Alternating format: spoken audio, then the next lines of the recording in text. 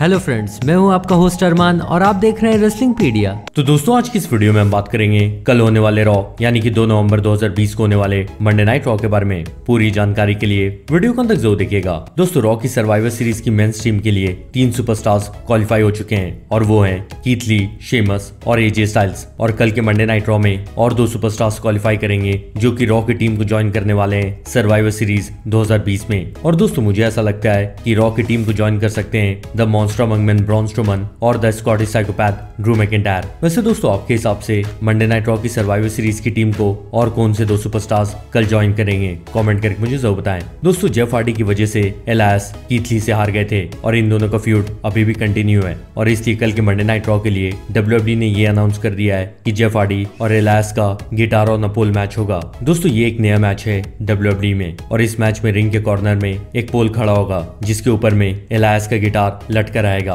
और जिसने भी पहले गिटार तोड़ लिया, वो जीत जाएगा। तो दोस्तों, आपके हिसाब से इस मैच में कौन जीतेगा? जेफ हार्डी या फिर एलायस? कमेंट करके मुझे बताएँ। और रॉ के टैग टीम चैंपियंस, यानी कि जेवियर वुड्स और कोफी किंगस्टन का मैच होगा द हार्ट बिज़नेस के सेड्रिक अलेक्जेंडर और शेल्टन बेंजामिन के साथ। और इस मैच में द रेट्रीब्यूशन भी इंटरफेयर कर सकते हैं द हार्ट बिज़नेस की टीम पर अटैक करने के लिए। दोस्तों रॉ की वुमेन्स टीम जो की सर्वाइवर सीरीज़ 2020 में फाइट करेंगी, वो कंप्लीट हो चुकी है। वो है Mandy Rose Dana Brooke Nia Jax Shayna Baszler और लाना और कल के मंडे नाइट रॉ में डेना ब्रुक टीम अप करेंगी मैंडी रोज के साथ और फेस करेंगी women's tag team champion Nia Jax और शाइना बेजदर को टैग टीम मैच में और लाना के ऊपर फिर से नाया जैक्स टेबल तोड़ते हुए दिखाई दे सकती हैं। और ब्रे वाइट का फायर फ्लाई फन हाउस का सेगमेंट भी हमें देखने मिलेगा कल के मंडे नाइट रॉ में, जहाँ ब्रे वाइट और एलेक्सा ब्लिस फिर से कोई धमकी देते हुए नज़र आएँगी। दोस्तों रैंडी ऑटन जो कि अभी डब्ल्यू चैंपियन बने हुए हैं, उनके लिए मुश्किलें बढ़ते जा रही है, क्योंकि ऑटन के पीछे Drew McIntyre the Fiend Bray Wyatt और रोमन रेक्स हैं। और पिछले हफ़्ते के रॉ में हमने देखा है की ड्रू मैकेंटायर ने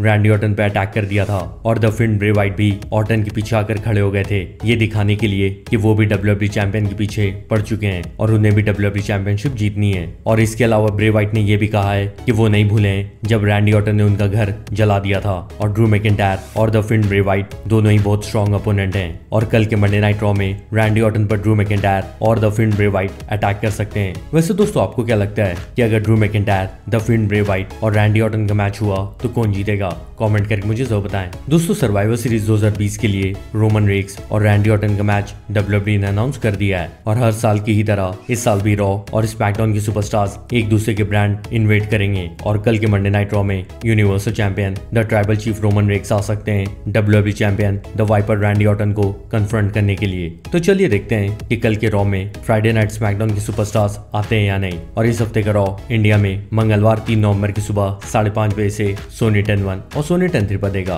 और आपको वीडियो पसंद आई तो इसे लाइक करें और इसे अपने दोस्तों के साथ भी शेयर करें। और मैं आपसे जल्दी मिलता हूँ। तब तक के लिए गुड बाय